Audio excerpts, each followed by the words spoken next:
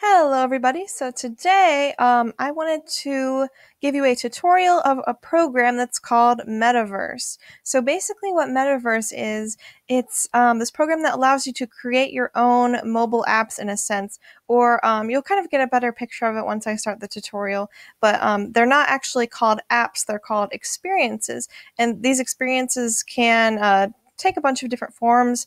Um, basically, they're kind of just little like mobile apps or games or stories almost and um, you can be the one to create it and uh, have this unique experience of making your own app and then you get to share it with other people. And so um, other people can uh, play through your experience and you can play through their experience.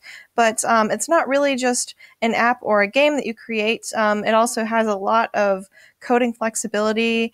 And um, if you're tech savvy enough you're basically given free rein to do all sorts of uh, crazy things uh, in terms of building a really uh, you know in-depth app like for a company or anything like that there's uh, the possibilities are basically endless especially if you do have a knowledge of coding but the whole point of uh, Metaverse is that uh, you can create your own app or game or story or anything like that um, without having any coding ability.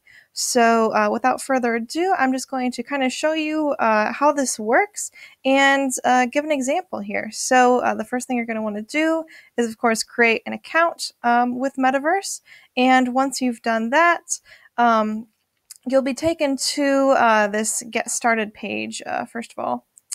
And that'll give you even more tutorials than the one that I am providing right now. And um, so then the first thing you'll want to do in order to create your first experience, you will click on Studio here, and then you'll click on Experiences, and then you'll want to click on Create New Experience. So now that uh, you're set up here, um, you might be a little bit confused, so I will uh, help you through the process here. Um, so what you see now um, is is kind of like uh, your uh, the platform you're going to be working in, the interface you're going to be working with in order to build your experience. And uh, so this is kind of your initial start here. You can describe the experience and um, then here is your first scene, and this is what people are going to see. Um, uh, imagine this kind of being like uh, your mobile phone screen right here. Like this is what people are going to see when they first click on your experience. So um, what can we do with an experience? Well, the first thing that I thought of, since it's like an app or a game or something you can create, you can you make a character, you have them talk, and then um, you can respond with these action buttons here. So let me show you what that looks like. The first idea I had that might be kind of neat was if you were, for example, a school teacher and you wanted to make a little quiz game for your students. You, that could be an example of one experience you could make. So um, First of all, so the character speaking in this first scene, when the user opens up your experience, that's where they're going to see this character. So I thought let's make a teacher character and uh, let's have the experience be this teacher character giving students a quiz. Um, so we're going to see what that looks like here.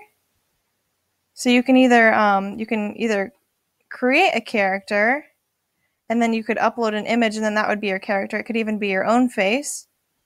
Or you can make a character. You can just pick through um, these characters, the pre-existing characters. And let's see.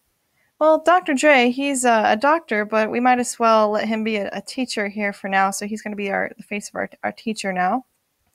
And um, so, what are we going to have him say? Well, if this is a quiz that's going to be given to students, he might say, um, Welcome to the math quiz. Let's test your your knowledge. Are you ready? And then, so then the, the action would of course be, since you're looking at this as a mobile phone screen, this is what the, the person's going to see. Um, and uh, so you're going to want the button response over here, see where it says response text. You might want it to say something like, I'm ready, let's go, or something like that. And then you can see how then, if this is like a mobile phone screen, then the person who's using their phone would just click right here on this button to get to the next scene. So, um, of course, we can't just have it's not really an app if you can't click on any buttons and nothing happens. We have to keep building on it. So, how are we going to do that? Well, the uh, next thing you go to transition control, transition to scene. Since you can see this is a, a scene here, we're just calling it scene one since it's the first, uh, just the the first um, scene here. And so, transition to scene. We're going to need to make a new scene, right? So, um, we're just going to make a new character scene because you can see how uh, you can make all different types of scenes. One of them it could be like the user puts text in. One could be um, that uh, that the app is requesting an item from the user or giving the item to a, a user. Um, one might be that uh, it opens up a web page, as you can see here, or um, even that it it uses your camera and you can take a picture or it opens YouTube.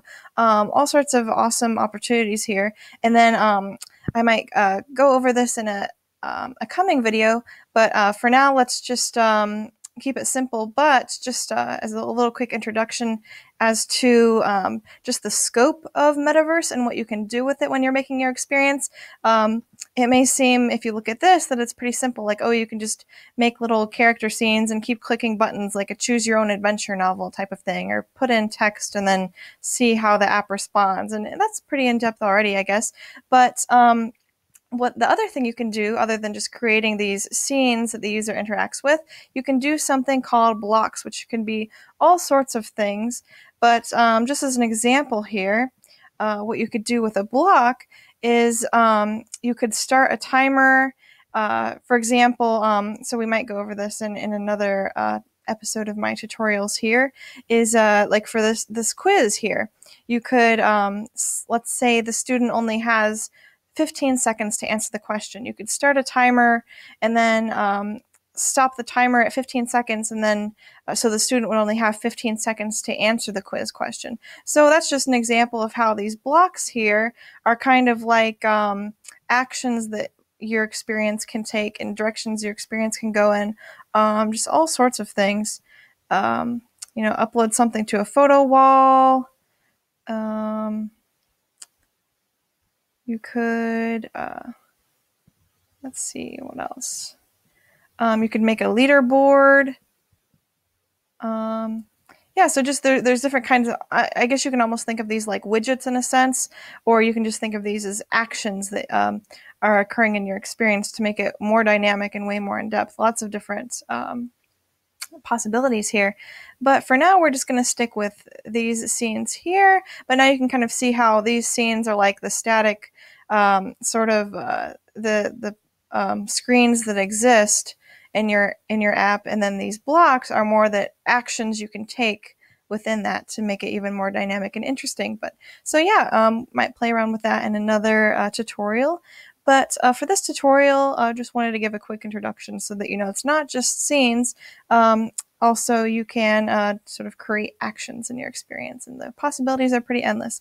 Yeah so anyway so we're going to go to another scene we're going to create this new scene and it's going to be another character scene so now, since of course he asked, Are you ready for the math quiz? The next uh, thing here will be our first math question. Let's, let's just say, um, What is 5 times 5? Just something kind of simple to show you as an example. And um, so what you do here is it's a multiple choice question, of course. So we're going to add some actions. We're going to just say there's four choices here. And um, this one here might be 10, then uh, uh, 15, 20, 25. And of course, you can just kind of mentally, you can use this as a placeholder and mentally think, like, oh, well, it could be any question that the teacher's asking their students, you know, any grade level, anything. Um, so, of course, these answers are wrong and this answer is right. So, then how do we deal with that?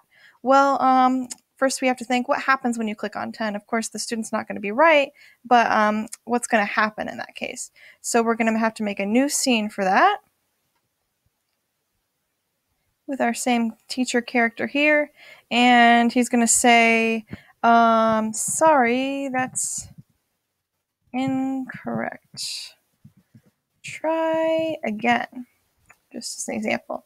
But then this doesn't lead anywhere. So if we're going to have um, the student try again, what we have to do is go to transitions here, and um, or you could have a like a button down here that says, "Okay, I'll try again," and then have that lead back to this scene. But um, and you also might want to relabel your scenes to make it a little bit easier to think about. Like uh, it's kind of small text here, but it did say scene two. But I might uh, change this to like, for example, test question one. And that way I can, um, when I'm here, and I'm on the sorry, that's incorrect, try again screen, I can uh, transition to, to scene and then back to test question one. So we're going back to test question one. Just makes it a little bit easier to label it here. So um, that's incorrect, try again.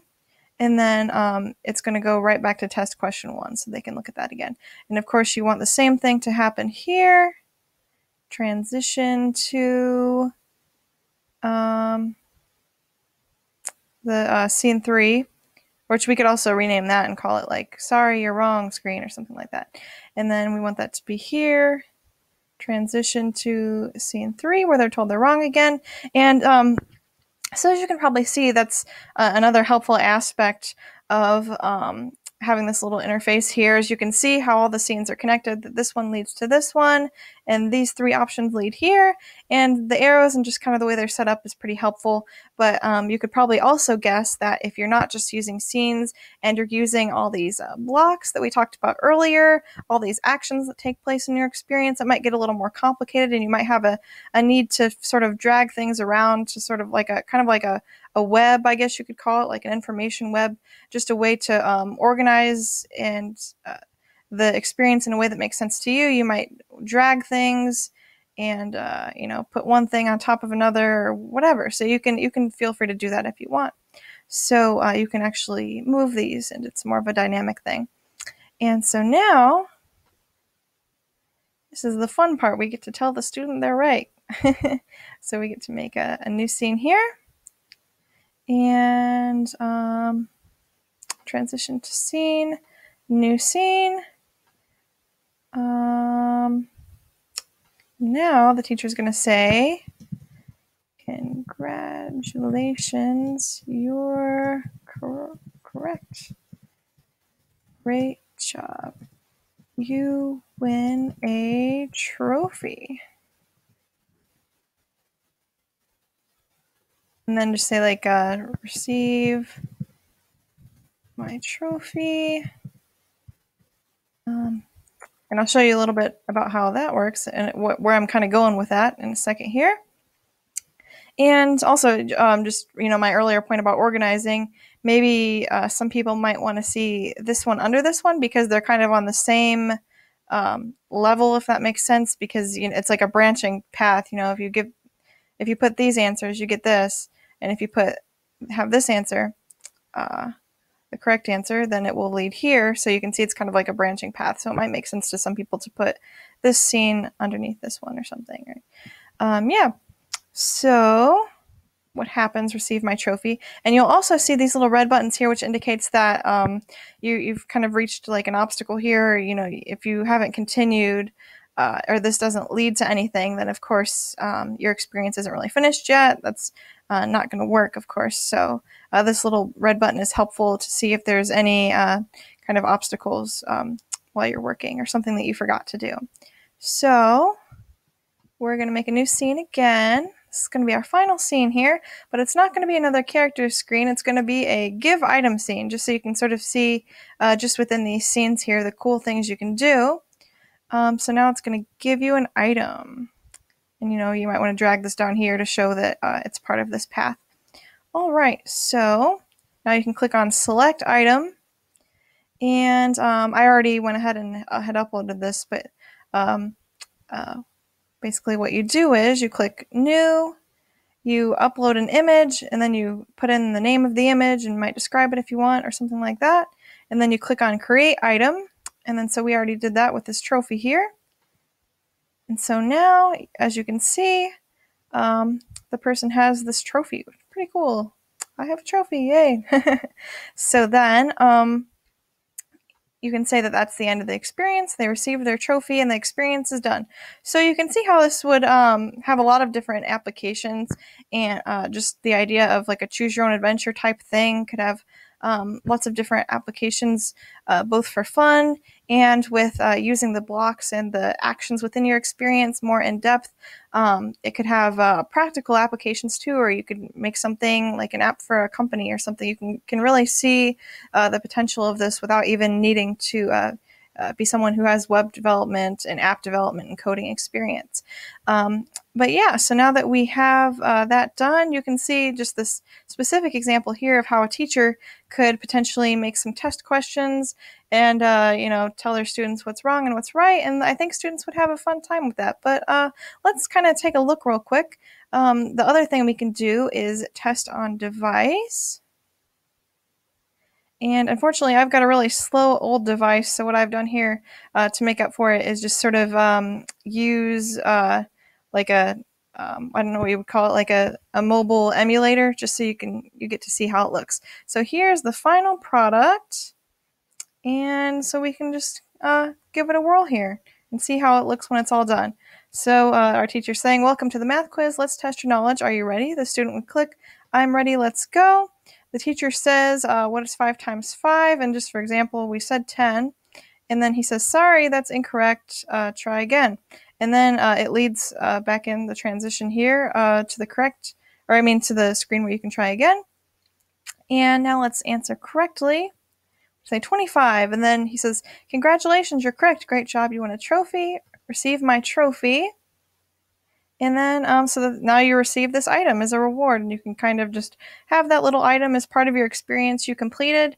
And um, so you could see how this would be a fun way for students to learn. Maybe that you, you know you'd be known as the cool teacher. I think if you uh, did something like this for your students and let them download a little app on their phone. But of course, like I said, you can see tons of applications that this might potentially have, and uh, just the opportunity to be creative and kind of make your own apps, games, stories, etc um, sky's your limit kind of.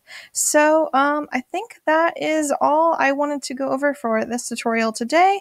And um, on a future tutorial, I might sort of go more in depth and uh, try and use some of the blocks to make a more complicated app. But um, until then, I hope you enjoyed my tutorial of how Metaverse Metaverse works, and I hope you have a fantastic day. Thanks so much. Bye.